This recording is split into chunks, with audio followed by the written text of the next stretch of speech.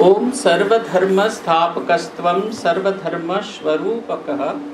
आचार्याणां महाचार्यो रामकृष्णाय ते नमः।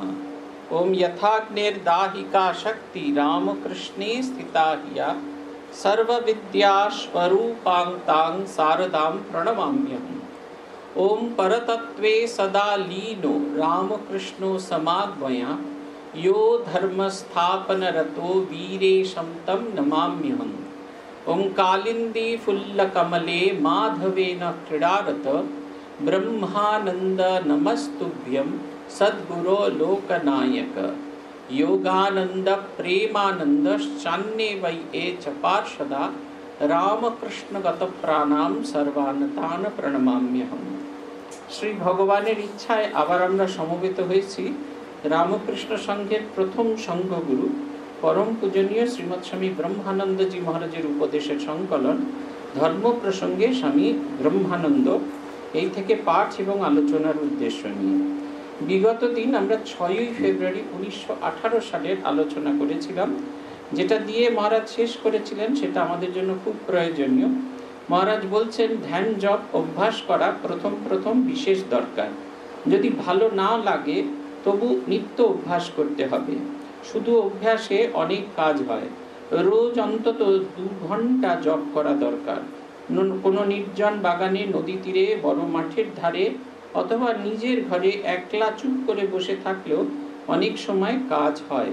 প্রথম প্রথম একটা রুটিন বা নিয়মিত কার্যপদ্ধতি করে কাজ আরম্ভ করা উচিত। এমন কোনো কাজের ভার নেওয়া উচিত নয় যাতে রুটিনটি বা নিয়মিত কার্যপদ্ধতিটি ভেঙে যায়। এটা খুব একবারে প্র্যাকটিক্যাল একটা উপদেশ। ধ্যান প্রথম অভ্যাস করা বিশেষ দরকার।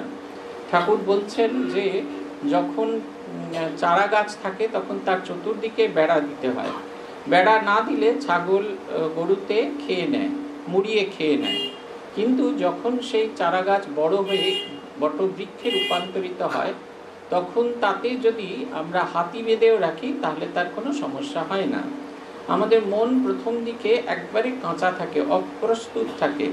আপনারা দেখবেন যদি কুমোর বাড়িতে গিয়ে দেখেন, যখন প্রথম মাটির জিনিস তৈরি হয়, সেটাকে খুব যত্ন করে রোদ্দুরে শুকোত দেওয়া হয়। তার কারণ হচ্ছে, ওর যে আউটার সারফেস সেটা যেন খুব শক্তপোক্ত হয়। রোদ্দুরের তাপ লেগে সেটা যেন খুব শক্ত হয়ে যায়। তারপরে সেটাকে আগুনে দেওয়া হয়, আগুনে পুড়িয়ে তারপরে জলে ফেলা হয়, তারপরে সেটা ব্যবহারযোগ্য হয়ে ওঠে। অতএব আমাদের জীবনকেও যদি আমরা ঠিকঠাক মতো করতে চাই, তাহলে সেক্ষেত্রেও অভ্যাসটা খুব জরুরি। নাহলে এই শয়নে প্রণাম জ্ঞান নিদ্রায় করো, মাকে ধ্যান, এই জাতীয় জিনিসপত্র এসে যায়। কনসেপশন খুব ক্লিয়ার থাকা দরকার।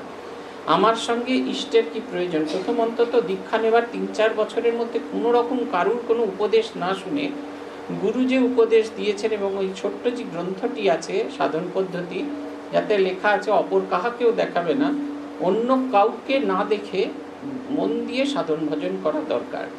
কারণ ওখানে যে উপদেশগুলো দেওয়া আছে, সেটা অনুভব করতে হয়। যতক্ষণ অভ্যাসে না আসে, ততক্ষণ হয় না। আপনারা দেখবেন প্রথম যেদিনকে ধ্যান করার চেষ্টা করেছিলেন বা মানুষ পূজা করার চেষ্টা করেছিলেন, কিছুতেই ঠাকুরকে আপনি হৃদয়ে বসাতে পারছেন না। কারণ আপনার মনে হচ্ছে রক্ত, মাংস, অস্থি, মজ্জা, হাড়, সমস্ত কিছু ওখানে আছে। তার ভেতরে কেমন করে ভগবানকে বসাবো? কিন্তু দেখুন, এখন আর কিন্তু সেটা ভাবতে হয় না। চোখ বন্ধ করলে আপনি অনুভব করতে পারেন যে আপনার হৃদয়ের ভেতরে তিনি বসে আছেন, তিনি অধিষ্ঠান। এটা কেমন করে হলো? এটা হচ্ছে অভ্যাসের দ্বারা হয়। অভ্যাসের দ্বারা আমরা এটিকে অতিক্রম করতে পারি এবং এই গুণগুলোকে অর্জন করতে পারি। সাধন ভজনের ক্ষেত্রে কেন অতিরিক্ত বলা হচ্ছে? কারণ মন নিয়ে খেলা করি আমরা। মন হচ্ছে খুব সটল জিনিস, সেটাকে নিয়ে যখন খেলা করি তখন আমাদের অনেক বেশি সাবধানতা অবলম্বন করা দরকার। সেই কারণে গুরু যে পথ বলে দেন, গুরু যে নির্দিষ্ট পথ দেন, সেটিকে অনুসরণ করা দরকার। এবং কোনো একটা জিনিসকে অভ্যাস করতে গেলে প্রথমে চেষ্টা করতে, দেখবেন আমরা বিরক্ত হয়ে যাই, কিন্তু সারে গা মা পা ধা নিসা সানি ধাপা মা গা রেসা। গলা সাধবার জন্য বারবার বলা হয় এটি, এমনকি যে অন্য স্বরের ব্যবহার এটাও হয় না। কালকে বলছিলাম না, রবীন্দ্রনাথ ঠাকুর বাচ্চা, বা ছেলেমেয়েরা যাতে ক্লান্ত না হয়ে পড়ে, তাই গান শেখার জন্য একটা নতুন গান আর লিখলেন, যাতে সব শুদ্ধ স্বর ব্যবহার করা হচ্ছে। আলো আমার, আলো গো আলোয় ভুবন ভরা, আলো নয়ন ধোয়া আমার, আলোয় হৃদয়ে ভরা। বলছেন এই এই প্রত্যেক, এই গানের প্রত্যেকটা শুদ্ধ স্বর ব্যবহার করছে। একটাও বিশুদ্ধ, কোমল কিচ্ছু ব্যবহার করা হয়নি। যাতে এই গানটা গাইতে গাইতে তাদের যে সরগম করার যে মনোটনি, সেটা কাটানো যায়, একই সঙ্গে গলা তৈরি হয়। স্বর পদ্ধতি, সাধনার পদ্ধতিটা হলো এই, যে স্বরটিতে আপনি স্বর নিক্ষেপ করেছেন, সেটি ছাড়া অন্য কোনো স্বর করলে হবে না। সা মানে সা সা মানে রেসা সা রে কোনোটাই নয়, সা মানে সা। ওইখানে স্বর সাধনা করতে হয়। কোনো একটি স্বরকে ধরে ঘণ্টার পর ঘণ্টা বা সময়ে, খানিক সময় দিয়ে দিয়ে একটি স্বরের উপর সাধনা করতে হয়। সাধন সময় একটু সময় দিতে হয় এবং একটু নিষ্ঠার সঙ্গে করতে হয়। বিশ্বকর্মা এলেন, এসে তিনি বললেন যে, আমি এ করব। আমি কি বেশ বলে, আমি মূর্তি তৈরি করব। কিন্তু মূর্তি তৈরি করার সময় এখানে চলে এসো, অনেকখানি জায়গা আছে। চলে এসো। হ্যাঁ। বিশ্বকর্মা এলেন। বিশ্বকর্মা বললেন, আমি মূর্তি তৈরি করব, কিন্তু নির্জনে কেউ যেন আমায় না দেখতে পায়। আমায় যেন কেউ, আমি যে কাজ করব, এটা যেন কেউ না জানতে পারে। বন্ধ ঘরের ভেতরে তিনি জগন্নাথ মূর্তি তৈরি করা শুরু করলেন। ছেনি হাতুড়ির কোনো আওয়াজই আসে না। তাই রাজা ইন্দ্রদ্রুম্ন তিনি খুব ব্যাকুল হয়ে পড়লেন। দরজা খুলে দেখলেন, বিশ্বকর্মা অপসৃত হয়েছেন এবং অর্ধ মূর্তি অর্ধ তৈরি মূর্তি, হাত ছাড়া জগন্নাথ মূর্তি দারু ব্রহ্ম তিনি রয়েছেন, তিনি বিরাজ করছেন। এইটা একটা খুব পরিষ্কার উদাহরণ আমাদের জন্য। যদি আমরা নিজেদের প্রস্তুত না করতে পারি, তাহলে এই আধা খেঁচড়া মূর্তিতে আমরা রূপান্তরিত হব। এবং এই আধা খেঁচড়া মূর্তি, আধা খেঁচড়া কোনো জিনিসই খুব আকর্ষণীয় নয়। অতএব এটা আমাদের বুঝে, এটাকে আমাদের অবশ্যই পরিত্যাগ করা দরকার। তাই বলছেন, যদি ভালো না লাগে, তবু নিত্য অভ্যাস করতে হবে। ভালো জিনিস করতে খুব ভালো লাগে না। আমার যেরকম হাঁটতে ভালো লাগে না, রোজ এক ঘণ্টা হাঁটার কথা হাঁটতে ভালো লাগে না। এবং হাঁটতে ভালো লাগে না বলে যা যা সমস্যাগুলো সব তৈরি হচ্ছে, অনুভব করতে পারছি একটু একটু করে প্রত্যেক দিন আমি মৃত্যুর দিকে এগিয়ে চলেছি, তবু ওই যে বোঝালেও বুঝি না রাম এরকম। বলছেন, রোজ অন্তত দুই ঘণ্টা জপ করা দরকার। এবার জায়গার কথা বলছেন, কোনো নির্জন বাগানে, নদী তীরে, বরণ মাঠের ধারে, অথবা নিজের ঘরে একলা চুপ করে বসে থাকলেও অনেক সময় কাজ হয়। নির্জনতার প্রয়োজন আছে, সেখানে যেন কেউ আমায় না বিরক্ত করে। পূজনীয় ভূতেশ আনন্দজি মহারাজকে একজন জিজ্ঞাসা করেছিলেন, বলেছিলেন, সকালবেলা কোনো রকমে জব ধ্যান করি? তারপরে স্বামী বাচ্চাদের স্কুলের খাবার, অফিসের খাবার তৈরি করি। তারা চলে গেলে স্নান টান করে দশটার সময় বসে জব ধ্যান করার চেষ্টা করি। ঠিক ওই সময় সামনের ফ্ল্যাটের মিসেস ঘোষ আসেন আমার সঙ্গে দেখা করতে। আমার খুব বিরক্ত লাগে, মহারাজ বললেন মহারাজকে জিজ্ঞেস করছেন, কি করব? মহারাজ ভারী সুন্দর উত্তর দিলেন।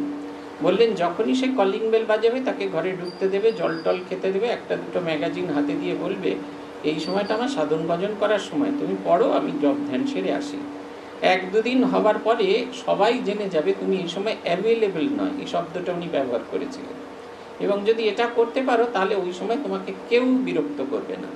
অনেক বছর বাদে, তখন আমি ব্রহ্মচারী হয়ে গেছি, সেই সময় এই ভদ্রমহিলার সঙ্গে আমার দেখা হয়েছে। ভূতেশানজি মহাপ্রয়াণ হয়ে গেছে। আমি তাকে জিজ্ঞাসা করেছিলাম, ওই উপদেশ আপনাকে খুব কাজে দিয়েছিল? বলছে, কাজে দিয়েছিল মানে? সারা সোসাইটিতে ছড়িয়ে পড়ল দশটা থেকে বারোটা, আমার সঙ্গে কোনো রকম দেখা করা চলে না। হয়তো এটা অনেক সময় আমাদের মনে হতে পারে, এটা আমাদের অহংকারের মতো। কিন্তু নিজের আধ্যাত্মিক উন্নতির জন্য এটা খুব প্রয়োজন। আমি যদি নিজেকে না তৈরি করতে পারি, জগৎকে তৈরি করার আমাদের কোনো অধিকার থাকবে না। সবার আগে নিজের ভেতরের আগুনকে প্রজ্বলিত করতে হয়। আমার ভেতরে আলো নেই, আমি কি করে দেখাবো? উপনিষদ বলছে, অন্ধে নৈব নিয়মানা যথা অন্ধা অন্ধকূপে পতন্তি।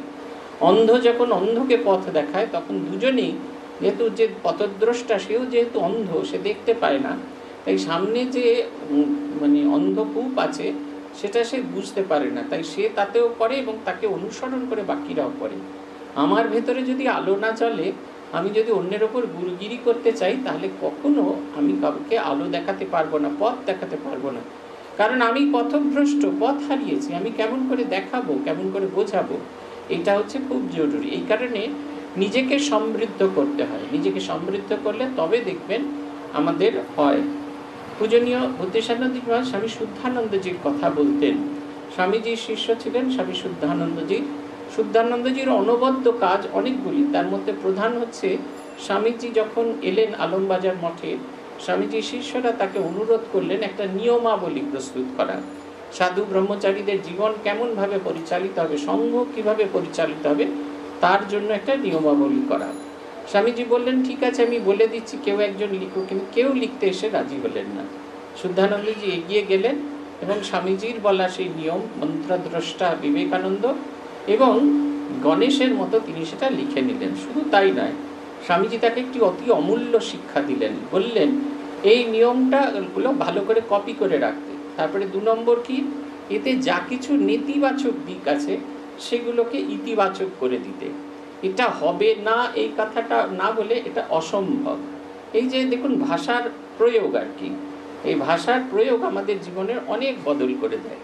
স্বামীজি সম্পর্কে বলতে গিয়ে রবীন্দ্রনাথ বলছেন না if you want to know India read Vivekananda in him everything is positive nothing negative যদি তুমি ভারতকে জানতে চাও, তাহলে অবশ্যই স্বামী বিবেকানন্দকে পড়ো। কারণ তার ভেতরে সমস্ত কিছু ইতিবাচক, নেতিবাচক কিছু নেই। স্বামী বিবেকানন্দের এটা একটা খুব বড় শিক্ষা যে ইতিবাচক দৃষ্টিভঙ্গি দিয়ে জগৎকে দেখতে হয়। আমরা যত ইতিবাচক দৃষ্টিভঙ্গি দিয়ে জগৎকে দেখব আমাদের জীবন দেখবেন বদল হয়ে যাচ্ছে। আমাদের সমস্ত কিছুর ভেতরে একটা আমূল পরিবর্তন হয়ে যাচ্ছে।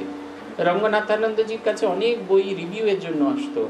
সব বই ওনার পক্ষে পড়া সম্ভব ছিল না। তিনি তাই বইগুলো কিছু কিছু তার সেবকদের দিতেন। তার সেবক ছিলেন মুরলি মহারাজ, তাকে উনি একটি বই দিয়েছেন রিভিউ করার জন্য। চার পাঁচ দিন বাদে জিজ্ঞেস করছেন, তুমি বইটা পড়েছো? বলছে হ্যাঁ পড়া হয়ে গেছে। কেমন লাগল তোমার বইটা? সেবক বলছে, আহামরি কিছু না। ওনার মুখটা ক্রমাগত কালো হতে শুরু করেছে। তারপরে জিজ্ঞেস করছেন, বইটা কীরকম? বলছে, না প্রিন্টও ভালো নয় আর ভীষণ মুদ্রণ প্রমাদ আছে। ওনার মুখ একবারে কালো হয়ে গেছে। তখন বলছেন, উনি বলছেন, এর মধ্যে ভালো কিছু নেই? বলছে হ্যাঁ বাঁধানোটা খুব সুন্দর। আর মহারাজ বলছেন দ্যাট সিট দ্যাট সিট এই দেখুন, অনেক খারাপের ভেতরে আলুওলা একটা জিনিস থাকা দরকার। এটা আমাদের কাছে জীবনে একটা খুব বড় শিক্ষণীয় বিষয়বস্তু। সব খারাপের ভিতরে কিছু না কিছু ভালো আছে। ওই কারণে দেখবেন এটা একটা আমার নতুন ইম্প্রোভাইজেশন হয়েছে যে কেউ যদি মোবাইল ফোন বাজে আমি আজকাল সেটাকে খুব অ্যালাউ করি, আমি এতটুকু রাগ করি না। কারণ জগতের মানুষ কাউকে খুঁজছেন আমরা একেবারে হারিয়ে যাইনি। কোথাও না কোথাও একটা জায়গায় কানেকশন আছে। আগে খুব অসন্তুষ্ট হতাম, কিন্তু ইদানিং অসন্তুষ্ট হই না। আমাদের তো কেউ খোঁজে না। দেখুন, আমরা আস্তে আস্তে হারা হয়ে যাচ্ছি। চলে গেলে ওই দু পাঁচ দিন স্মৃতিসভা হবে, তারপরে আর কেউ মনে রাখবে না। তখন সবাই খোঁজ করতে যাবে, জগৎ মানে পরিবারের জন্য কি রেখে গেছে? কতলা বাড়ি রেখে গেছে? ব্যাংকে কতটা ফিক্সড ডিপোজিট করে গেছে? নমিনি আমাকে করে গেছে কিনা? জয়েন্ট অ্যাকাউন্ট আমাকে করা ছিল কিনা? যদি জয়েন্ট অ্যাকাউন্ট করা থাকে, খুব ভালো। আর যদি নমিনি করা থাকে, গালাগাল দিয়ে একদম শ্বশুর আর ভূত ভাগ, ভাগিয়ে দিয়ে থাকি আমরা। মানে এইটা হচ্ছে আমাদের জগতের কাছে তো আমাদের কন্ট্রিবিউশন আমরা এত অপ্রয়োজনীয় হয়ে গেছি। শুধুমাত্র স্বার্থের জন্য আমরা একে অপরের সঙ্গে সংযুক্ত হয়ে যেতে পারছি। আমরা এরকম একটা জীবন, একটা ফেজের ভেতর দিয়ে যাচ্ছি। সেই কারণে নিজের ভেতরের আলোটাকে জ্বালাতে গেলে একটা রুটিন হওয়া খুব জরুরি। একটা যদি রুটিন না হয়, তাহলে আমরা কোনোভাবেই নিজেদেরকে তৈরি করে উঠতে পারব না। এইখানে শেষ হয়েছিল গতদিন। আজকে আমরা শুরু করব যেখানে সেটা হচ্ছে বলরাম মন্দির, কলকাতার নয়ই ফেব্রুয়ারি উনিশশো আঠারো সাল। বলছি, প্রশ্ন হচ্ছে ইষ্টমূর্তি ধ্যান করতে গেলে যদি অন্য দেবদেবীর মূর্তি আসে, তখন কি করবে? এই প্রশ্নটা আমাদের সকলেরই। দেখবেন, বেশিরভাগ ক্ষেত্রে ঠাকুরের ধ্যান করতে গিয়ে আমরা মাকে ধ্যান করি। প্রভু মহারাজে খুব ক্লিয়ার কাট উত্তর আছে। একজন জিজ্ঞাসা করছেন, ঠাকুরের ধ্যান করতে গিয়ে মাকে ধ্যান করি, তাহলে কি আমার মন্ত্রটা ভুল আছে? মন্ত্রটা কি একটু বদলে দেবেন? প্রভু মহারাজ বলছেন, না না, তোমার মন্ত্র ঠিক আছে। তুমি মাকে ধ্যান করলেও কোনো সমস্যা নেই, কিন্তু চেষ্টা করবে তুমি ঠাকুরকেই ধ্যান করতে। ঠাকুরের ভেতরে সব কিছুকে দেখার কথা। ঠাকুর সম্পর্কে বলছেন সর্বদেব দেবী স্বরূপ। তিনি দেব, তিনি দেবতা, তিনি সব কিছুর স্বরূপ। অতএব তাকে চিন্তা করলে সেটা হয়। এই যদি না আমরা আমাদের ছড়িয়ে থাকা দৃষ্টিকে এক জায়গায় না আনতে পারি, তাহলে কিন্তু কোনোভাবেই কিছু হবে না। আজ মনে হচ্ছে মাকে ধ্যান করলে বেশ লাগছে। স্বামীজির জন্মদিনের দিন মনে হচ্ছে স্বামীজিকে যদি ঠাকুরের বদলে ধ্যান করি, ঠাকুর বলেছেন, নরেন আমার সব। তাহলে ঠাকুরকেও ধ্যান, নরেনকেই ধ্যান করা হলো পরশু দিন বলবে, খেদার বাবা, সেই তো আমার জীবনের সব আস্থার মৃত্যুদিন। তাকে একটু স্মরণ করি। দেখবেন, ক্রমাগত আমাদের এই যে ধ্যানের ডেভিয়েশনটা হতে থাকবে। স্বামী ব্রহ্মানন্দজি কি বলছেন? বলছেন, এ খুব ভালো জানবি, আমার ইষ্টই নানা দেবদেবীর মূর্তিতে আমার কাছে আসছেন এই রূপ ভাববি। তিনি এক, আবার তিনি বহু। নিজের ইষ্টমূর্তিকেও দেখবি, আবার অন্য রূপে যিনি আসেন তাকেও দেখবি। কিছুদিন পরে দেখতে পাবি, ইষ্টতেই সব লয় হয়ে যাবেন। অমাবস্যা, পূর্ণিমা, অষ্টমী তিথি এবং কালী পূজা, জগদ্ধাত্রী পুজো এবং দুর্গা পুজোয় যথানিয়মে খুব বেশি করে জপ ধ্যান করবি। সকল স্ত্রীলোককে মাতৃবধ দেখবি। কাহাকেও কোনো কথা দিলে যে করেই হোক সে কথা রাখবি। যদি সন্দেহ হয় রাখতে পারবি না, তাহলে বলবি চেষ্টা করব। ইষ্টমূর্তি দেখতে গিয়ে অন্য দেবদেবীর মূর্তি। রাজা মহারাজ কি সুন্দর বলছেন। বলছেন, আমার ইষ্টই ওই ওই রূপ ধারণ করে এসছে, এইটা ভাবতে হবে। ওই ওই দেবদেবী আমার ইষ্টই ওই রূপ ধারণ করে। এতে দুটো জিনিস হয়। এক হচ্ছে ইষ্ট নিষ্ঠা বলা হয় দেখবেন আপনারা রামায়ণ গান যে শুরু হয়, তাতে দুটো শ্লোক দিয়ে শুরু হয়। শ্রীনাথে জানকী নাথে অভেদ পরমাত্মনি, তথাপি মম সর্বস্য রাম কমললোচনা। হনুমান বলছেন, শ্রীনাথ, লক্ষ্মীপতি নারায়ণ জানকীনাথ জানকীপতি রামচন্দ্র। এরা দুজনেই অভেদ, সে এক অভেদ পরমাত্মা। এটা আমি জানি। শ্রীনাথে জানকীনাথে অভেদ পরমাত্মনি তথাপি মম সর্বস্য রাম কমললোচন তবু আমি আমার মন প্রাণ সব সেই কমললোচন রামচন্দ্রকে নিবেদন করেছি। ইষ্টের প্রতি এই যে ভালোবাসা, এই নিষ্ঠা যদি না থাকে, আমাদের সাধন জীবন ভালো হয় না। ইনি আমার বাবা, জগতের লোক, তাকে অপমান করুক আর যাই করুক, আমি সব সময় দেখব, আমি যেন তাকে রক্ষা করতে পারি। যদি এইটা না থাকে, তাহলে আমি পিতৃ পরিচয় আমার গুরুত্বপূর্ণ নয়। নিজের আত্মীয় স্বজন, নিজের পরিজন, তারা যতই দোষ করে থাকুন, তারা আমার আপনার জন্য এই বোধটা আমাদের থাকা দরকার। এই বোধটা যদি না থাকে, তাহলে খুব মুশকিল। এই পরিচয়টা, এইটাকে বলা হয় ইষ্টনিষ্ঠা, ইষ্টের প্রতি ভালোবাসা। আবার অন্য অন্য যে আছে, তাকে তার প্রতিও খারাপ কিছু রাখব না। যখন মনে করব আমার ইষ্টই এই রূপ ধারণ করে এসেছেন, তাহলে দেখবেন আপনার অন্যান্য দেবতার প্রতিও ঘৃণা হচ্ছে না, ছোট করা হচ্ছে না, বড় করা হচ্ছে না, আবার একই সঙ্গে আপনার ইষ্টের প্রতি ভালোবাসা থাকে। আমরা যখন পুজো শিখতে গেছিলাম, একটা ভারী সুন্দর উপদেশ আমাদের বলা হয়েছিল। সেখানে বলা হলো, গুরু গণেশ আদি পঞ্চদেবতা যখন চিন্তা করব, তখন মনে করে থাকি যেন ঠাকুর নানা রূপ ধারণ করে এসেছেন। ঠাকুরই গণেশ হয়ে এসেছেন, ঠাকুরই শিব হয়ে এসেছেন, ঠাকুরই সূর্য হয়ে এসেছেন, ঠাকুরই নারায়ণ হয়ে এসেছেন, ঠাকুরই ভগবতী হয়ে এসেছেন।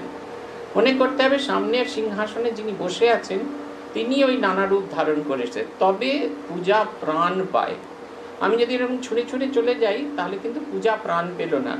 আমি নিয়ম রক্ষার্থে পূজা করলাম। কিন্তু যখন আমি মনে করি, আমার ইষ্টই গণেশ রূপে এসছেন, তখন তার কপালে চন্দন পড়ার সময় আমার খুব আনন্দ হবে। তার গলায় মালা দেওয়ার সময় আনন্দ হবে। তার গায়ে চন্দন মাখানোর সময়, ফুল দেওয়ার সময়, বেলপাতা, দুর্বা দেওয়ার সময় আমার আনন্দ হবে। কারণ আমার ইষ্টই ওই রূপ ধারণ করে এসেছে। কিন্তু যত এতে চিন্তা করব, দেখব আস্তে আস্তে আস্তে আস্তে সেই মূর্তি একটি মূর্তিতে রূপান্তরিত হচ্ছে, যেটি আমার ইষ্ট মূর্তি এই কারণে বলছেন, কিছুদিন পরে দেখতে পাবি ইষ্টতেই সব লয় হয়ে যাবে। দুটো চিন্তা যখন একসঙ্গে চলতে থাকবে একটা সময় দেখব যার প্রতি আমার সবচেয়ে বেশি ভালোবাসা, তার ভেতরে সব কিছু লয়প্রাপ্ত হয়েছে। এবার বলছেন যে বিভিন্ন দিনগুলো পালন করার অনেক রকমের পদ্ধতি আছে। আমরা শুধুমাত্র অনুষ্ঠানের ওপর নির্ভর করি। নিরামিষ খাব কিনা, লুচি খাব কিনা, আলো চালের ভাত খাব কিনা, ঘি খাব কিনা কাপড় পরবো কিনা, কাপড় ছাড়া থাকব কিনা, মাংস খাব কিনা, ডিম খাব কিনা, এক বছর অসৌচ পালন করব কিনা কিন্তু উদ্দেশ্যটা আমরা হারা হয়ে যাই। কত সহজ পদ্ধতি দিচ্ছেন এই সমস্ত বিভিন্ন দিনগুলো, এইসব অসপিশিয়াস ডে এই দিনগুলোতে কেমন করে কাটাতে হয়? কত সহজ পদ্ধতি, কেন যেটা আমি পালন করতে পারব? অমাবস্যা, পূর্ণিমা এবং অষ্টমী তিথিতে তিনটে তিথি, এছাড়া কালী পূজা, জগদ্ধাত্রী পুজো এবং দুর্গা পূজাতে যথানিয়মে খুব বেশি জপ করবে। আপনি যে জব যে সংখ্যায় জব করেন সেটা করবেন, কিন্তু এই সময় এই দিনগুলোতে কেউ করবেন।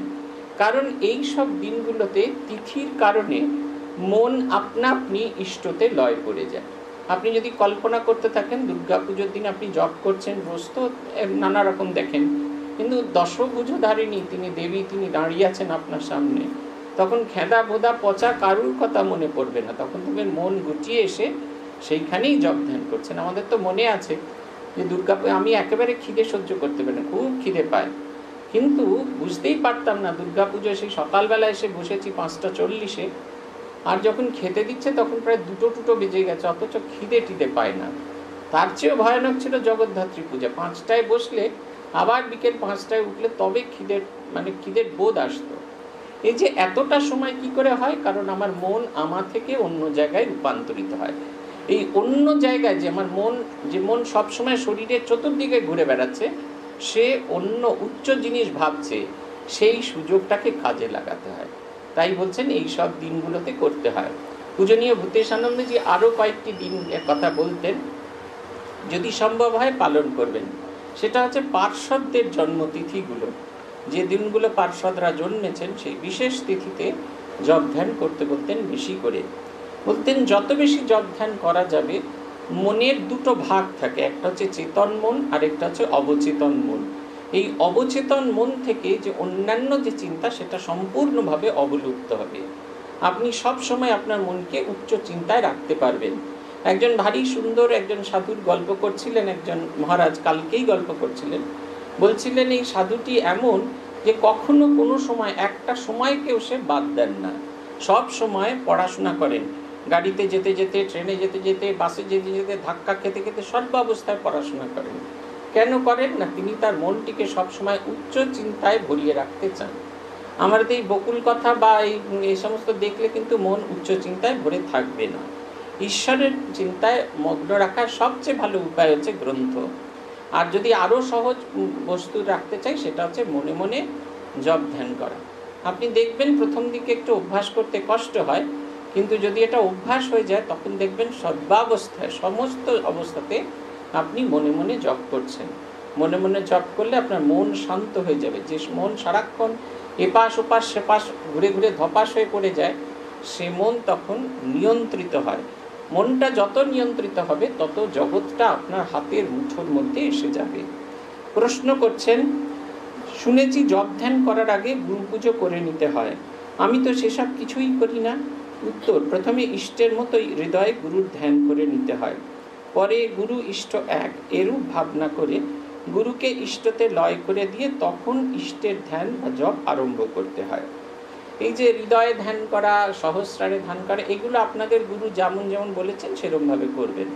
এখানে এই কথাটা শোনবার দরকার এটা কারুর একজন বিশেষ উদ্দেশ্যে বলছেন। কিন্তু যেটা বলা হচ্ছে, সেটা হচ্ছে গুরুকে পুজো করে গুরুকে ইষ্টের সঙ্গে লয় করাতে হয়। কেন গুরুকে ইষ্টের সঙ্গে লয় করাতে হয়? কারণ গুরু হচ্ছেন ইষ্টের প্রতিবিম্ব, প্রতিরূপ। আমাদের মনে আছে, যেদিন মন্ত্র দীক্ষা হচ্ছিল, সেদিন ভূতেশানন্দজি ভূতেশানন্দজি সহজে আমি কথাটা, আমি আমার কথাটা বলতেন না। আমি আমার প্রসঙ্গ হলে উনি আমাদের বলতেন। কেউ কেউ সেটা নকল করতে গিয়ে খুব মুশকিল করে ফেলত। একজনই নামলো বাস টয়লেট করতে। আমরা এখন বাথরুমে যাব। একজনই নেমেছে। কিন্তু ওইটাকে নকল করতে গিয়ে এরকম গোলমাল হয়ে যেত। কিন্তু বোধটা থাকা দরকার। গুরু ভূতেশানন্দজি বলেছিলেন, আজকের দিনে আমাকে খুব ভালো করে দেখে নাও। কেন আমাকে ভালো করে দেখে নাও? কারণ আজকে আমার ভেতরে গুরু শক্তি প্রকাশ হচ্ছে। সেটা কিন্তু উনি বলেননি। কিন্তু এটা ইঙ্গিত ছিল। যে যে মহারাজকে আমরা রোজ দেখি আর যে মহারাজকে দীক্ষার আসনে দেখেছি, সেই দুটি মানুষ এক নয়। একজন মন্ত্র ভুলে গেছেন, ভূতেশানন্দজির কাছে আবার গেছেন। তিনি বলেছেন, আমাকে ভেবে বলতে হবে। যে কেন ভেবে বলতে হবে? আপনিই তো দিয়েছিলেন। যে যে মানুষটা মন্ত্র দীক্ষা দিয়েছিল আর আমি সেই লোকটা এক নয়। তাকে আমার ভিতরে আহ্বান করতে হবে, তবে আমি তোমাকে বলতে পারব। রাজা মহারাজের কাছে মন্ত্র দীক্ষা হবে একজন ভদ্রলোক। রাজা মহারাজ রাজি হয়েছিলেন তাকে মন্ত্র দীক্ষা দিতে। কিন্তু রাজা মহারাজের শরীর চলে যায়। তারপরে স্বপ্নে তিনি স্বামী ব্রহ্মানন্দজি দর্শন পান এবং রাজা মহারাজ তাকে মন্ত্র দেন, কিন্তু সেই মন্ত্র তার মনে ছিল না। তিনি পরে এসে মহাপুরুষ মহারাজকে বললেন, মহাপুরুষ মহারাজ একটু কিন্তু কিন্তু করছিলেন। তারপরে নি তাকে এখানে বসিয়ে রেখে স্বামী ব্রহ্মানন্দজির ঘর, সেই ঘরের ভেতরে ঢুকে গিয়ে দরজা বন্ধ করে দিলেন। দীর্ঘ সময় ধরে তিনি স্বামী ব্রহ্মানন্দজির ছবির সামনে গভীর ধ্যান করলেন। খানিক বাদে সেই লোকটিকে ডেকে পাঠালেন লোকটিকে ডেকে পাঠিয়ে পাশে বসিয়ে তাকে বিধিসম্মতভাবে মন্ত্র দীক্ষা দিলেন। মন্ত্র দীক্ষা হয়ে যাবার পরে তাকে তিনি জিজ্ঞাসা করছেন, এই মন্ত্রই তুমি পেয়েছিলে তো? তখন তার মনে পড়ল হ্যাঁ স্বপ্নে তিনি এই মন্ত্রই স্বামী ব্রহ্মানন্দজির কাছে পেয়েছিলেন। একটি ছেলেকে আমি জানি, খুব ছোটবেলা বোধ সেভেন এইট এরকম পরে একদিন তিনি স্বপ্ন দেখলেন যে ঠাকুর একজন খুব বৃদ্ধ লোককে তার সঙ্গে করে নিয়ে তার একটাও দাঁত নেই। গেরুয়াস পড়া একজন সাধু। ঠাকুর তাকে দেখে বলছেন, এই লোকটা তোর যাবতীয়, এ তোর যাবতীয় এই আধ্যাত্মিক জীবনের ভার গ্রহণ করবেন। সেই ভদ্রলোক তাকে মন্ত্র দীক্ষা দিলেন, সব হয়ে গেল। তাকে তিনি চেনেন না, শ্রীরামকৃষ্ণ ছাড়া তাকে তিনি চেনেন না। এরও চার বছর বাদে কামারপুকুর মঠে গেছেন, পূজ্যপাত আত্মস্থানন্দজি মহারাজ দীক্ষা দিতে এসছেন। কামারপুকুর মঠে প্রদীপ মহারাজ ছিলেন, তাকে তিনি এই ঘটনাটি বলেন। তাকে জিজ্ঞেস করেছেন, তো অল্প বয়সী ছেলে দেখে মন্দিরে বসে থাকে, ভাবে বামুনের ছেলে বোধহয় গায়ত্রী মন্ত্র জপ করে। কিন্তু তিনি এই মন্ত্র, যে মন্ত্র পেয়েছিলেন, সেই বৃদ্ধ ভদ্রলোকের কাছ থেকে সেই মন্ত্রই তিনি জপ করেন। তারপরে প্রদীপ জিজ্ঞাসা করলেন, তুমি দীক্ষা টিক্ষা নেবে? বললেন, আমার এরকম একটা দীক্ষা হয়েছিল। তখন এই ছেলেটিকে নিয়ে আত্মস্থানন্দজির কাছে যান। আত্মস্থানজি সব শুনে ভক্ত, শ্রীরামকৃষ্ণ ভক্ত মালিকা নিয়ে এসে তাকে দেখান। যে ছবিটি দেখান সেটি হচ্ছে? খোকা মহারাজের স্বামী ব্রহ্ম সুবোধানন্দজি ছেলেটি দেখা মাত্র চিনতে পারলেন, এই সেই বৃদ্ধ লোক যার একটা দাঁত ছিল না, তিনি এসে তাকে মন্ত্র দীক্ষা দিয়েছিলেন। আত্মস্থানজি বললেন, তোমার মন্ত্র দীক্ষা হবে তবে এখানে নয়, মায়ের বাড়িতে হবে। মহারাজ কামারপুকুর জয়রামবাটি থেকে ফিরে এসেই উদ্বোধনে দীক্ষা দিলেন। সকলের সঙ্গে একসঙ্গে দীক্ষা হলো। যখন তিনি সাধারণ মন্ত্র দিচ্ছেন, তখন ছেলেটিকে বললেন, এই মন্ত্রটা তোমার জন্য না, তোমায় পৃথকভাবে মন্ত্র দেব। সবার দীক্ষা শেষ হয়ে গেল, মন্ত্র শোনা হয়ে গেল, ভক্তরা বাইরে চলে গেলেন, দীক্ষা গুরু পূজার প্রস্তুতি হচ্ছে। এই একাকী ঘরে ছেলেটার দিকে তাকিয়ে মহারাজ একটি মন্ত্র বললেন, এটি তোমার মন্ত্র। বলছে, আমি বিস্ময় অবাক হয়ে গেছি, মহারাজ আমার কাছে জানতেও চাননি যে সেই বৃদ্ধ লোকটি কি মন্ত্র দিয়েছিলেন, কিন্তু আত্মস্থান যে মন্ত্র দিলেন, সেটি সেই একই মন্ত্র।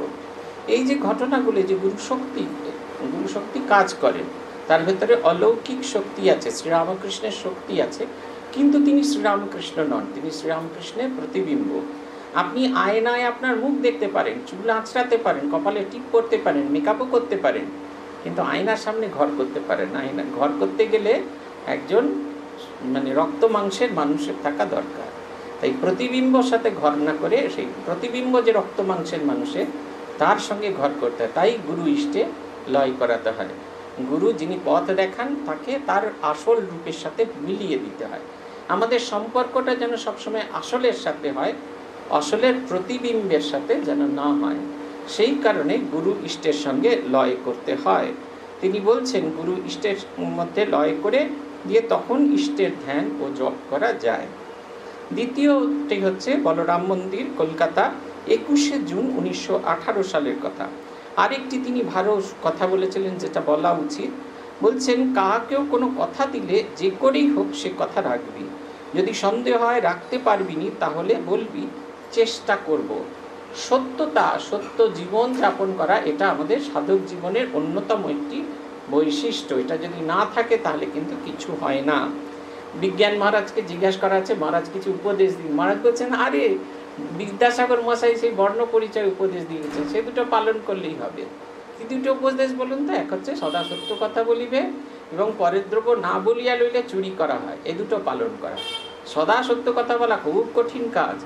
একবারে দুটো কঠিন, কত সহজ করে বলে দিয়েছে। সত্যে জীবন, সত্য যদি প্রতিষ্ঠা না হয় এবং সত্য কথা বলতে গেলে সৎ হতে হয় কাজে, কথায় আর চরিত্রে। চরিত্রে তখন আমাদের প্রকাশ হয় যখন আমরা নিজেরা খুব সৎ হতে পারি। এটা আমাদের খুব জরুরি। এই খুব জরুরি প্রয়োজন আছে এটা এই সৎ হওয়াটা খুব খুব খুব দরকার আছে এবং এটা যদি না হয়, তাহলে জীবন কখনো এগিয়ে যেতে পারে না তাই বলছেন, যেখানে আমরা কথা রাখতে পারব না, সেখানে যেন বলা উচিত, চেষ্টা করব। আমি চেষ্টা করব। আমি পারি না পারি, আমি চেষ্টা করব। কাশীশ্বরানন্দজি মহারাজের কাছে স্বামী ব্রহ্মানন্দজির একটা গল্প শুনেছিলাম ব্রহ্মানন্দজির কাছে একটি ছেলে আসে অনেক দিন ধরে, এক বছর ধরে ঘুরছে, কিছুতেই মহারাজ তাকে দীক্ষা দেননি। একদিন তিনি খুব অনুযোগ করলেন, আমাকে আপনি কেন দীক্ষা দেন না?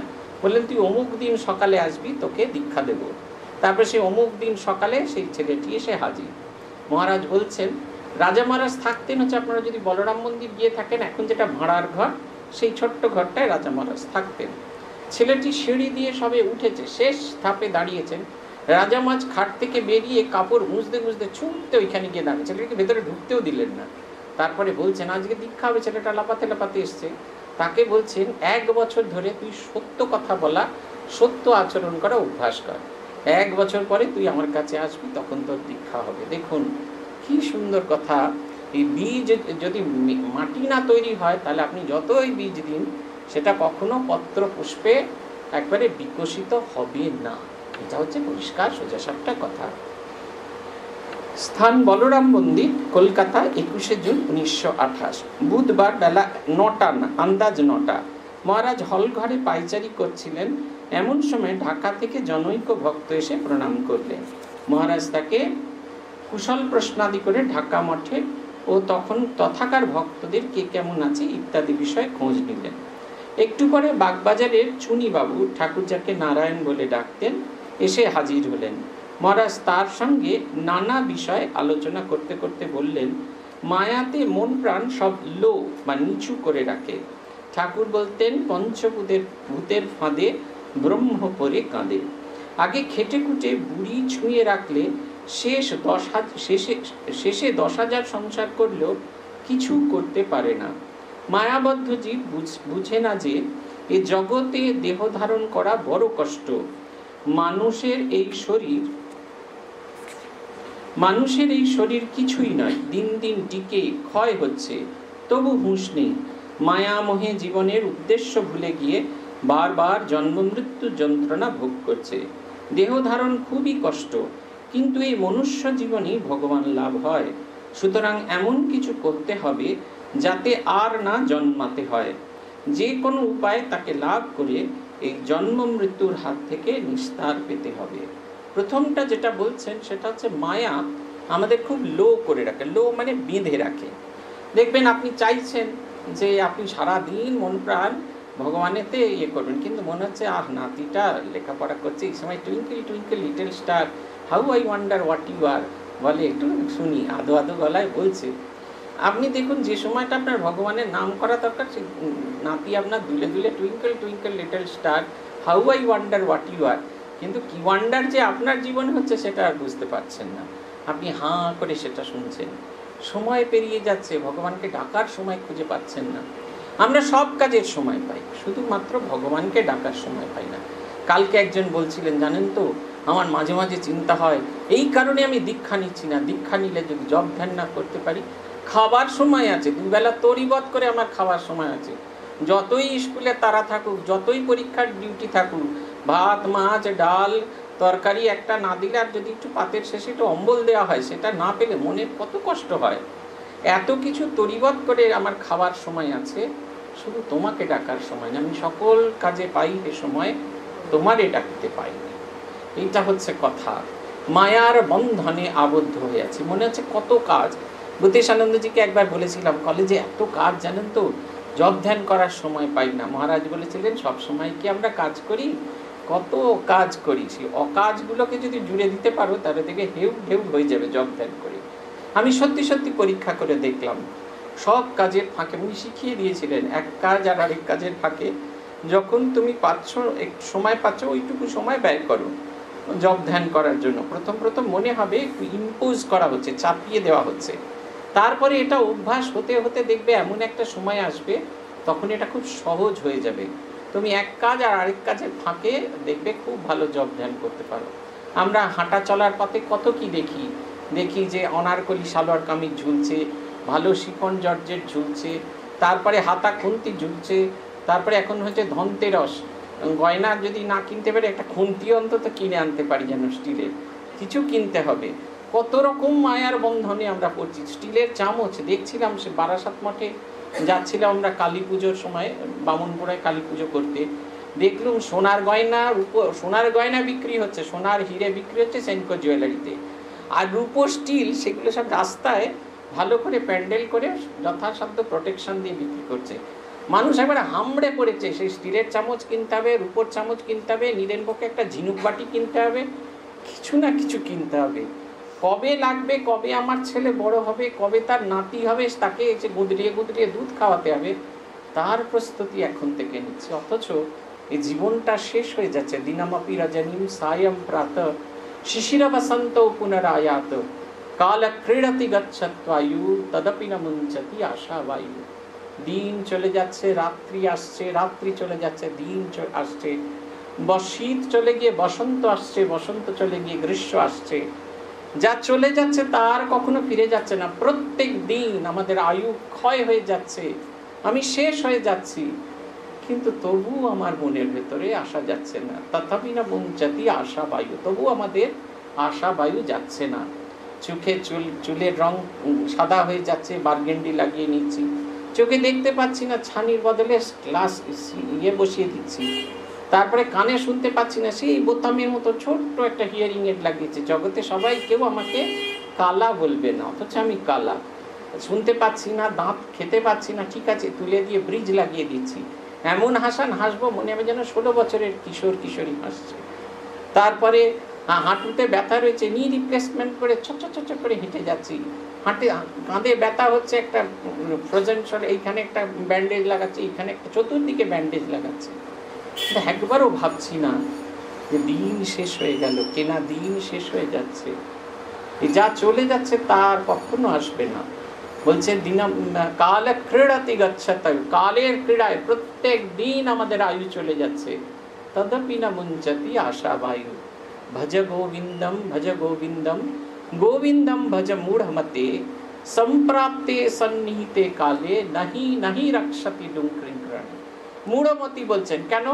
বুদ্ধি থাকা সত্ত্বেও যে মূর্খের মতো কাজ করে। তাই বলছেন, মতিমান মানুষ মানুষ মতিমান হতে পারে, সেই মতিমান মানুষ নিজেকে ঢাকা দিচ্ছে, মূঢ়তা দিয়ে ঢাকা দিচ্ছে।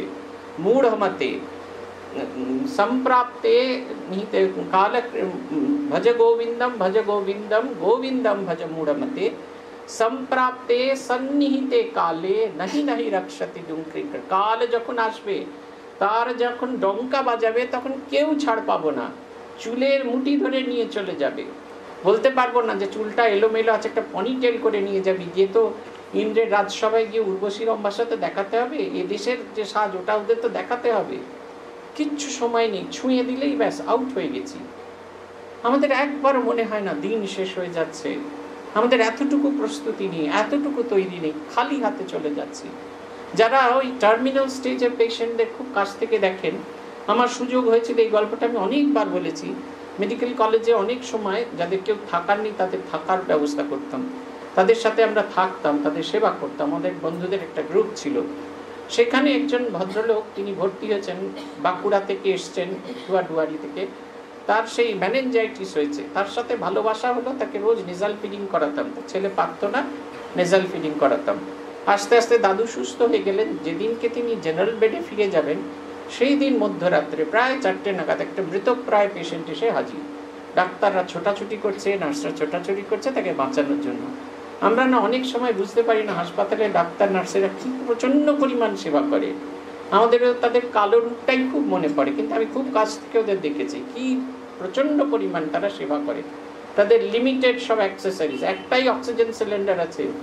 এসেছে তিনজন পেশেন্ট এসছে, ওদের মধ্যে ভাবতে হচ্ছে কে বেশিক্ষণ বাঁচবে, তাকে অক্সিজেন সিলিন্ডার দেবে বাকি দুজনকে দেবেন যাকে দিল না, তারা তো ওদের দানব বলেই মনে করে। যাকে সেই ডাক্তাররা চেষ্টা করে চলেছেন, মনে হচ্ছে পেশেন্ট এক্ষুনি মারা যাবে। এত ছোটাছুটি হচ্ছে, হাঁ করে দাঁড়িয়ে দেখছি, সাড়ে চারটে থেকে সাড়ে পাঁচটা বেজে গেছে। তখন এই পুরো হাতা জামা ভাঁজ করে পড়তুম দাঁড়িয়ে আছি। হঠাৎ করে দেখছি আমার হাত ধরে কেউ জামাটা ধরে কেউ টানছে। দেখলুম দাদু বলছে, বুঝলে তো বুড়োটা আজ টেসে যাবে। তখন আস্তে আস্তে ওনার নেজাল ফিটিং সব খুলে দিয়েছে তো, ভালো কথা বেরোচ্ছে। যে বুঝলে তো বুড়োটা বোধহয় টিঁসে যাবে। বুড়ো টিঁসে যাবে ভাবছে। কারণ তাই তো দেখে মনে হচ্ছে। তারপরে তো আমার রিলিভার এলো, আমি চলে গেছি। পরের দিন সন্ধ্যেবেলা এসে দেখছি যে বেড খালি। দাদু তো অন্য ওয়ার্ডে চলে গেছেন জানি। আর আগের দিনে যে দাদু খুব অসুস্থ হয়ে পড়েছেন তিনি আস্তে আস্তে জাঁকিয়ে সোজা হয়ে বসছেন আর কি। তারপরে আমি সব কাজটা গুছিয়ে সিস্টারকে জিজ্ঞেস করলাম, এই দাদু কোথায় গেলেন? বলছে, হার কোথায়? সাড়ে সাতটার সময় পটকে গেছে। তিনি সাড়ে পাঁচটার সময় বলছেন যে, আজকে টেসে যাবে এই লোকটা। তিনি সাড়ে সাতটার সময় চলে গেছেন। জীবন এই রকম কখন আমরা চলে যাব কেউ জানি না। তবু আমরা এতটুকু প্রস্তুতি নিই না। মায়ার বন্ধনে আবদ্ধ হয়ে থাকি আর দেখতে থাকি twinkle twinkle little star how I wonder what you are যে কি ওয়ান্ডার হাঁ করে সেটা দেখতে থাকি। তবু আমাদের এতটুকু বোধ আসে না। বলছেন, মায়াতে মন প্রাণ সব লো, নিচু করে রাখে। আমাদের উচ্চ চিন্তা করতে দেয় না, উচ্চ চিন্তা করতে দেয় না। বুদ্ধিশানন্দজি বলতেন, আমাদের ষড়বিকারত্মক দেহ। জায়তে অস্থি বর্ধতে বিপরিণমতে অপক্ষিয়তি। এই এই অবস্থার ভেতরে সবাইকে যেতে হবে। এই পৃথিবীতে আমরা জন্মগ্রহণ করি, আমাদের অস্তিত্ব হয় তারপরে বর্ধাতে একটু একটু করে বাড়তে থাকি। শুয়েছিলুম উল্টোই, উল্টো থেকে দাঁড়াই, হামাগুড়ি দিই হামাগুড়ি থেকে দাঁড়াই, দাঁড়াতে দাঁড়াতে ছুটি, দাঁত বেরোয়, চুল বেরোয় গোপদারি বেরোয়, তারপরে একটা সময় পরে বিপরিণামাতে উল্টো দিক চলতে থাকে। কানে শুনতে পাই না, চুলে, চুল সাদা হতে থাকে যে যা যা হতে থাকে তাই। তারপরে অপক্ষিয়াতে আস্তে আস্তে নষ্ট হতে থাকে। একটা চোখে আর সে আগের মতো সার্জারি হলো, কিন্তু সে আগের মতো আর দেখতে পাই না। আগের মতো আর হাঁটতে পারি না। আর মাংস আগের মতো চিবোতে পারি না। সব অপক্ষীয়তি, আর দিলেও ভালো লাগে না। আগে কি ভালো লাগতো আইসক্রিম খেতে, এখন না না খাব। আবার ডায়াবেটিস বেড়ে যাবে, কি হবে? আর যে ক্ষয় হয়ে যাচ্ছে, এটা আমি অনুভব করি। তারপরে একটা সময় অনুভব করতে হবে, নশ্বতি, নষ্ট হয়ে যাবে। একটা সময় দেখব, শেষ হয়ে গেছি ডেড বডি কত দেখেছি হাসপাতালে। হাসপাতালে এগুলো খুব কষ্ট লাগে দেখতে। পাশের বেডে লোক মরে পড়ে আছে, তিন ঘণ্টা না হলে সরাবে না। কাপড় ঢাকা দিয়ে রেখেছে তার পাশের বেডের লোককে ব্রেকফাস্ট দিয়েছে। রুটি, দুধ আর কলা। সে ওইটি ডেড বডি দেখবে না, খাবে, সেটা হচ্ছে কথা। তবু জীবন এরকম ভাবে চলে। এত কিছু আমরা দেখি, এত কিছু আমরা জানি, এত কিছু আমরা অনুভব করি, তবু জীবনের প্রতি আমাদের ভালোবাসা যায় না। দু বছর দুর্গাপুজোর ঠাকুর দেখি নিয়ে বছর কি ছাড়বো? একবারে বাগবাজারের সার্বজনীন থেকে মুদিয়ালি অব্দি হেঁটে, নিচে, কেঁদে সব করে দেখব। তবু আমাদের মনে হয় না যে দুর্গাপুজোয় মা চার দিন এসেছেন। মাকে নিয়ে একটু চিন্তা করি, মাকে নিয়ে একটু ভাবি। তার কথা একটু ভাবি জব ধ্যান করি বেশি করে। কখনো আমাদের মনে হয় না। সে দেখেছি তো মায়াবতী গিয়েছি, সেখানে গিয়ে দেখলাম। মায়াবতীতে ভক্তদের যে থাকার জায়গা আছে, আমাদের ভলেন্টিয়াররা সেখানে থাকল। আমাকে টেনে হিঁচড়ে নিয়ে গেল প্রেয়ার হল দেখানোর জন্য। আমরা সব প্রেয়ার হলে বসে একটু জব ধ্যান করার চেষ্টা করছি। দেখছি বারান্দায় টাওয়ার পাওয়া যাচ্ছে না তো, বারান্দায় দাঁড়িয়ে ভদ্র চিৎকার করছে। আরে বুঝলি তো, কি সুন্দর জায়গা, সব সয়ের দোষ আর কি। কি সুন্দর জায়গা, এত সুন্দর জায়গা আগে বুঝতে পারিনি। পরের বার সব গ্রুপ করে ব্যাচ করে নিয়ে আসবে। এত রেগে গেছিলাম, আমি বেরিয়ে বললাম যে এইখানে দাঁড়িয়ে বলার কি একটা একটু চেঁচিয়ে বললে সে শুনতে পাবে। শুধু শুধু ফোন কেন খরচ করছেন এখানেই যে জায়গা, এই যে একটা শান্তির জায়গায় এসছি, নিজেকে খুঁজবো বলে নিজেকে খোঁজার আগে অন্যকেই জায়গার খোঁজ দেওয়ার চেষ্টা করছি। কত কিছু দেখা হয় নাই, দেখা হয় নাই, চক্ষু মেলিয়া। ঘর হতে শুধু দুই পা ফেলিয়া, একটি ধানের শিশির ওপর একটি শিশুর বিন্দু। দেখাই হয়নি কত জিনিস দেখা বাকি করে আছে, আমি সকলকে দেখাচ্ছি। সেই ঠাকুর গল্প করছেন না, সেই এসেছে, সেই বড় বড় তিনি অফিসার, তিনি এসেছেন সঙ্গে করে, তার ছোট ছেলেটিকে নিয়ে এসেছেন। যাত্রা দেখার তার উৎসাহ নেই ছেলেটি কি করে ভালো করে যাত্রা দেখবে এতেই তার খুব লাফালাফি হচ্ছে। আমাদের অবস্থা হলো তাই। আমি তখনও দেখিনি, আমি জগৎকে কি করে দেখাবো সেটা নিয়ে আমাদের পাগল করার মতো অবস্থা। এই বলছেন না, লো হয়ে যায়। লো মানে খারাপ হয়ে যাচ্ছে না। আমার যেটা স্থিতি, আমার যে ঈশ্বরীয় সত্তা, যেটা আমার স্থিতি, সেইটাকে আমি কিছুতেই কিছুতেই বুঝতে চাইছি না। তাই বলছেন ঠাকুর, বলতেন, পঞ্চভূতের ভূতের ফাঁদে ব্রহ্ম পরে কাঁদে আগে খেটে খুঁটে বুড়ি ছুঁয়ে রাখলে শেষে দশ হাজার সংসার করলেও কিছুই কিছু হবে না। ওই যে বলছেন, সূর্যোদয়ের আগে তোলা মাখন। মাখনের সেই তৈলাক্ত সত্তা জলের ওপর ফেলে রাখলে সে ভেসে বেড়ায়। সে কখনো জলের সাথে মিশে যায় না। কিন্তু যদি সেটা না তোলা হয়, তাহলে দুধ যে মুহূর্তে জলে দেওয়া হলো, দুধে জলে মিশে একাকার হয়ে গেল। মায়াবদ্ধ জীব বুঝতে পারে না এই জগতে দেহ ধারণ করা খুব কষ্ট, ভীষণ কষ্ট। এই যে বারবার যে জন্ম মৃত্যুর চক্রে যে ঘুরে ঘুরে বেড়াচ্ছি, ভীষণ কষ্ট। বারবার মনে হয় যে না, এই জীবন আর চাই না, আর চাই না। সেই কি সুধাময়ী রান্না, আর না আন্না খেয়ে পায় কান্না। বারবার মনে হয় যে এত খারাপ রান্না ভুলেও খাব না। কিন্তু তবু মনে, আহা, কাল সেই গতদিন খারাপ করেছিল। মাংসটা সেদ্ধ হয়েছিল, খুব সুন্দর। কালকে একজনের গল্প বলছে, মাংসের পায়েসের গল্প। মাংসের পায়েস না, একজন সঙ্গে সঙ্গে কফির, কফি মাংসের গল্প বলতে শুরু করলেন। তিনি বুঝতেই পারেননি আমরা কি নিয়ে আলোচনা করছিলাম। সে মাংসটা সেদ্ধ হয়েছে, কিন্তু এত সেদ্ধ হয়েছে, এত সেদ্ধ হয়েছে, পায়েসের মতো একদম নরম হয়ে গেছে। চালগুলো যেরকম দুধের মধ্যে ঘুরে বেড়ায়, সেরকম মাংসটা ঘুরে বেড়াচ্ছে। হাড়গুলোকে কিছু করা যায়নি, কিন্তু মাংস তার থেকে ছেড়ে গিয়ে ঘুরে বেড়াচ্ছে।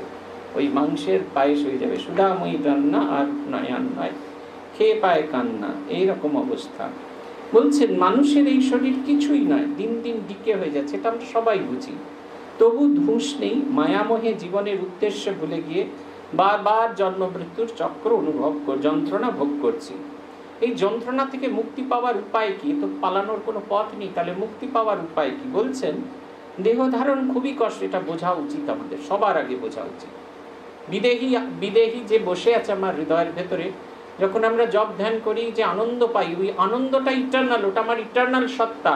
আমি স্পর্শ করেছি, সেই অনন্তকে আবার ফিরে এসেছি।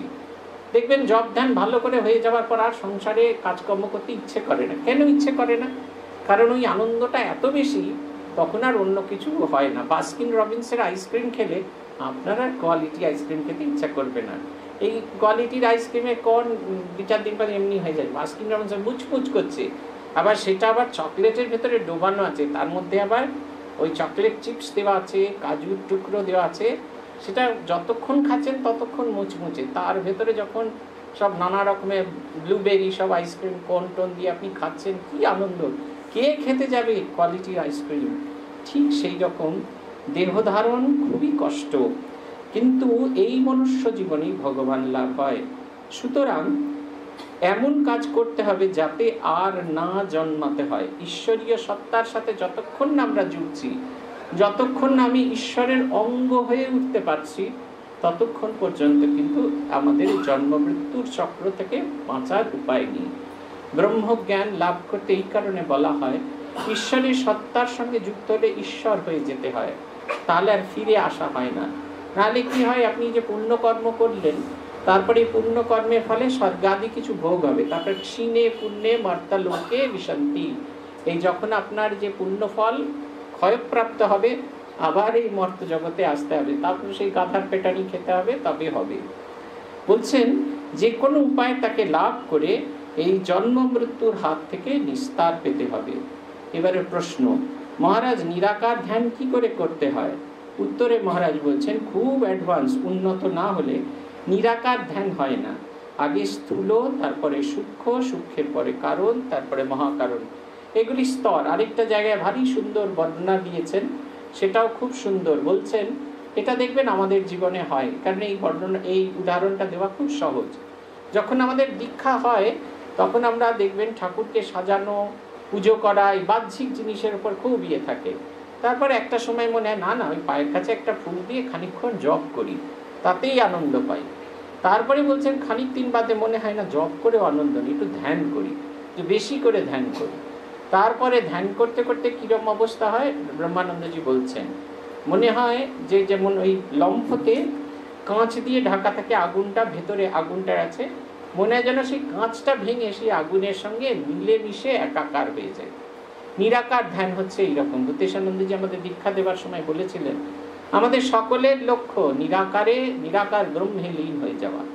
কিন্তু এটা খানিকটা সিঁড়ি দিয়ে ওঠার মতো। এই সিঁড়ি দিয়ে এই যে একতলা থেকে দোতলা উঠছেন, দেখবেন যার যেরকম ক্ষমতা, কেউ একটা একটা সিঁড়ি এক পা এক পা দিয়ে উঠছেন, কেউ একটা পা দিয়ে দুটো পা একসাথে করার পর আবার উঠছেন। কেউ দুটো দুটো সিঁড়ি লাফিয়ে লাফিয়ে উঠছেন, আবার কেউ আবার চার, পাঁচটা সিঁড়ি লাফিয়ে উঠছেন। কিন্তু সবাই সেই ওপরে আসবেন। তাই নিরন্তর চেষ্টা করতে হয়, ধীরে ধীরে সেই সাকার বস্তুকে চিন্তা করা। সাকারকে চিন্তা করতে করতে এমন একটা অবস্থায় আসবে, যেখানে এই সাকার বস্তুর প্রতি একটা অদ্ভুত ভালোবাসা তৈরি হয়ে যাবে। আপনি চোখ বন্ধ করলে যেন তাকে দেখতে পান, তিনি যেন আপনার সঙ্গে সঙ্গে ঘুরছেন। সেই আছে না, জটাধারী দেখছেন যে তার বালক রামলালা তার কাঁধে চড়ছেন, নাচছেন। বালক রামলালা সে সিংহাসনেই বসে আছেন। জটাধারী দেখছেন। রামলালা বলছে, আজকে আমি ক্ষীর খাব। আজকে আমি ননি খাব। তিনি তো খুব আনন্দ পাচ্ছেন। এই যে ছোট শিশু তার কাঁধে চড়ে নানা রকমের বায়না করছেন। ঠাকুর রামলালা বিগ্রহ পেলেন, তারপরে ঠাকুরের ওই বৈলক্ষ্য নিল। জব ধ্যান সব উঠল, লুচি তৈরি করছেন, নাড়ু তৈরি করছেন। রামলালা তাকে না বলে গঙ্গায় গিয়ে স্নান করছেন, ঝাপাঝাপি করছেন। ঠাকুর নেমে তাকে মারধর করে দু চার থাপ্পড় দিয়ে হাত ধরে হির করে টানতে টানতে আসছেন। সবাই দেখছেন ঠাকুর এরকম হাতটা বাড়িয়ে কাউকে একজন টানছেন। একটা অলৌকিক কারোর দিকে তাকিয়ে বকাঝকা করছেন। ঠাকুরের মা চন্দ্রামণি দেবী বললেন গদাইয়ের হলো কি? গদাই যে সাধুর বালগোপাল নিয়ে তাকে তো পড়িতে পেয়েছে মানে ফুটে পেয়েছে তাকে। চন্দ্রামণির দেবী এই মনে হতে থাকছে, অতএব বাকিদের আর মনে হওয়াই আর নতুন কি? তিনি এইরকমভাবে ভাবছেন, এই অলিক জগতের সঙ্গে আমাদের সম্পর্ক হয়। সেই অলিক জগৎ এত আকর্ষণীয় হয়, এত আকর্ষণীয় হয় তখন আর এই যে আমাদের মাইক যে সম্পর্কগুলো, সেগুলো আর তখন সত্য বলে বোধ হয় না, মিথ্যা। কারণ দেখবেন আমাদের এই মাইক সম্পর্ক একটা জায়গায় গিয়ে থেমে যাবে। আপনার পাশে যে মানুষটি বসেন, আপনার বাড়িতে যে মানুষটি থাকেন, তিনি হয়তো চলে গেলেন। আপনার সম্পর্ক কিন্তু ওখানেই থেমে গেল। আমরা কিছুতেই বিশ্বাস করতে পারি না যে বাইরের দেখা শেষ হয়ে গেলে ভেতরের দেখাটা সত্য হয়ে ওঠে। তার কারণ হচ্ছে আমরা বাইরের ওই রক্ত মাংসের হেঁটে চলা মানুষকেই দেখার চেষ্টা করি। সেই কারণে বাইরের যখন দেখা শেষ হয়ে যায়, তখন আমরা দেখ, ভেতরের দেখা বুঝতে পারি না। তাই ওই যে মানুষটা হেঁটে চলে বেড়াচ্ছেন, তিনি চলে বেড়াতেন, তিনি একটা ছবিতে রূপান্তরিত হয়। তার জন্মদিন, তার মৃত্যুদিন, তার বিয়ের দিনে কপালে ফোঁটা, গলায় মালা, একটু কাঁদা, একটু স্মৃতিচারণ করা, এইখানেই আমাদের জীবন শেষ হয়ে যায়। জীবনের শেষ অবধি তাকে আমরা বয়ে নিয়ে যেতে পারি না। এই সাকার থেকে নিরাকারের ধ্যান খুব প্রয়োজন। আমরা যত সাকারের ধ্যান করব, নিজের ডেভেলপমেন্ট আপনি একটু একটু বুঝতে পারবেন। যেদিন প্রথম এসে রান্না করেছিলেন, ভাতটা গলিয়ে ফেলেছিলেন, শাশুড়ি ঠাকুরুন খুব দুর্মুষ করেছিল, সেদিনের আর আজকে যে ঝরঝরে ভাত করেন, ওটার মধ্যে অনেক ফারাক। দেখুন কীরকম উন্নতি হচ্ছে। ভাত রান্নাতে যদি উন্নতি হয়, তাহলে মনের মানোন্নয়ন হবেই হবে। ভগবানকে চাইলে যিনি আপনার সেই সিংহাসনে বসে আছেন, তিনি আপনার নিত্য সঙ্গী হবে। আপনিও দেখতে পাবেন। গোপালের মা যেরকম দেখতে পেতেন গোপাল লাপাচ্ছে ঝাঁপাচ্ছে গোপালের জন্য ভালো বিছানা করে দিয়েছেন। তারপরে বড়ি টড়ি কিনে এনে রেখে দিয়েছেন, আমসত্ত্ব সব এনে দিয়েছেন। গোপালকে বড়ির ঝাল আর ভাত করে দেবেন। তিনি কি খাবেন তার ঠিক নেই। গোপালের কি ভালো লাগে তাই চেষ্টা করছেন। জীবনটা তখন ঈশ্বরময় হবে। তারপরে যখন সর্বজীবে সেই প্রেমময়কে দেখতে পাবেন, তখন জগৎটা মনে হবে ঈশ্বর সর্বস্ব। শ্রীপ্রভু আমাদের সেই শক্তি দিন। আমরা যেন ভগবানকে জীবন্ত, জাগ্রত দেখতে পাই। এই যে মায়ার জগতে যেগুলি নিয়ে আমাদের ভীষণ আকর্ষণ, যেগুলি ছাড়া আমাদের চলবে না হ্যাঁ সেইগুলো যেন সত্যি সত্যি আমাদের জীবন থেকে অপসৃত হয়। অনেকগুলো দিন নষ্ট করে ফেলেছে। যে কটা দিন অবশিষ্ট আছে, সেগুলো যেন কাজে লাগে। আজ এই পর্যন্ত ওম প্রণতানাম প্রসিদত্বম দেবী বিশ্বার্থী হারিণী ত্রৈলোক্য বাসিনা মিড্ডে লোকানাম বরদা ভগত ओम शांति ओम शांति ओम शांति। हरि ओम तत्सत श्री रामकृष्णार्पणमस्तु